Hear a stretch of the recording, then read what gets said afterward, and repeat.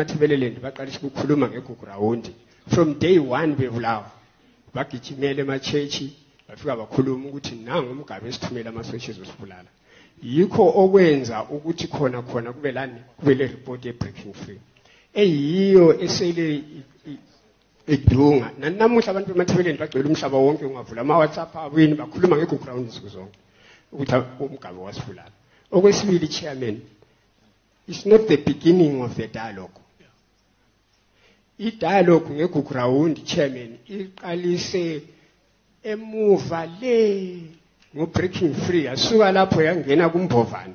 Sikhuluma namhla abafana babe-organize imbovane la ba- bagcwele umhlaba wonke babaleka ngenxa ye-central le. Abanye base-britain abanye bekhuluma ngokuthi asikhulume nini ngegoground so this is not the beginning. Kusuka lapho kwabuya ini ibhetshu likazulu. Nanamuhla lokhu bevalelwa bechaya besalelwa lokhu besithi asikhulume nini ngegoground so it's not the beginning because ibhu selinika imali ukuthi libe la sekuthiwa i-beginning. Ngoba sokukhuluma lina ama-professor ngoba sokukhuluma lina abamawetela then it's the beginning. No it's not the beginning. Eh sisuka khona lapho sisuka khona lapho uphayasi uphayasi uze wanqunulwa waba yize enqunulela ukuthi indaba esithi kawukhulunywe ngegugrawundi nanamuhla kakho uphayasi usegangeni akulam lonke lalithule la maprofesa lonke la lalithule.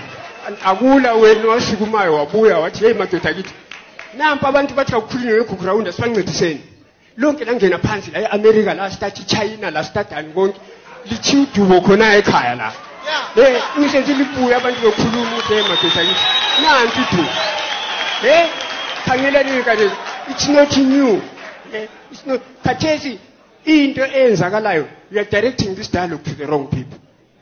Eh abantu okumele lidirecte idialogue le ngabantu abafaka i- ikhotonulu endlebeni le phezulu aba- abayibo amakhomanda abuye e- e- ezigabeni zethu ezobulala abantu. Yibo aba- abangafuni. Batsheleni babuye kithi abantu sikhulumeni labo lingabuyi ngapha kithi. Thina sifuna labana yibo abangafuni ukubuya kuzokhulunywa. Lina libuya ngapha futhi. Imali kumbe uthanda amawetela